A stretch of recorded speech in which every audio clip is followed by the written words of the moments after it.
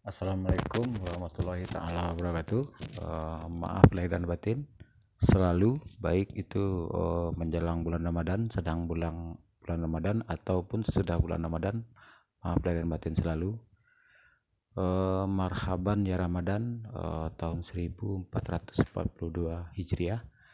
Uh, tahu saudara-saudari kenapa uh, tahun 1400 uh, sesuai dengan surat Ibrahim surat ke-14 dan tahun kita ini uh, sangat ditekankan uh, sholat itu dari Quran surat Ibrahim dihitung mundur dari 1442 sampai uh, 1400 uh, itu sangat syarat uh, kajian kalau kita kaji. Uh, kita to the point saja.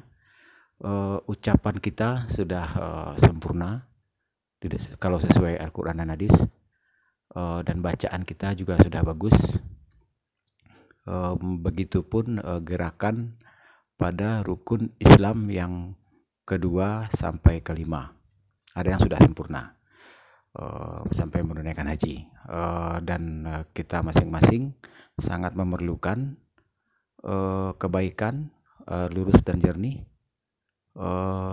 rukun iman uh, 2 sampai 6 uh, dan itu pondasinya adalah Eh, baik itu rukun iman maupun rukun Islam itu pondasinya adalah dua kulimah syahadat. Nah, jadi eh, di dalam kita eh, tata cara memasak, jika salah satu saja kurang alat, maka masakan tidak jadi.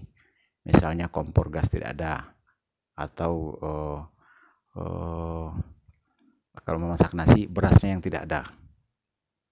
Uh, diibaratkan begitulah dua kulima sadat tadi. Maaf, ini cuma ibarat. Uh, jadi uh, intinya apa?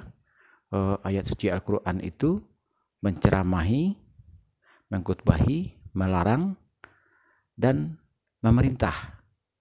Ayat yang seharusnya menceramahi kita, ayat yang seharusnya mengkutbahi kita. Sangatlah tidak wajar, mubalik justru menceramahi perintah menceramahi larangan nah, tanpa menghimbau untuk uh, di luar ucapan. Tentu saja kalau di luar ucapan itu adalah melakukan. Nah, selama ini itu yang terjadi, cuma sebatas ucapan, sebatas ikrar, sebatas percaya, mulut. Nah, sementara uh, percaya batin, keyakinan batin di dalam rukun iman itu harus lewat bimbingan hantaran, harus ada ahlinya secara intensif, tidak akan terwakili oleh ceramah dan khutbah ataupun baca buku. Nah, apalagi kalau perkara uh, rukun Islam. Rukun Islam itu benar-benar harus berbuat, bukan melakukan rukun. Atau ibarat sholat bukan melakukan rukun 13. Itu baru sebatas ucapan dan gerakan rukun.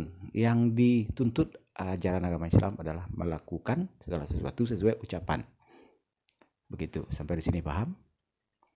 Nah, jadi eh, apa pun alasannya, eh, menceramahi orang dengan ayat yang menceramahi dia, lalu dia mendapat uang. Itu bagaimanapun pengantar pemahaman itu adalah menjual ayat-ayat Allah.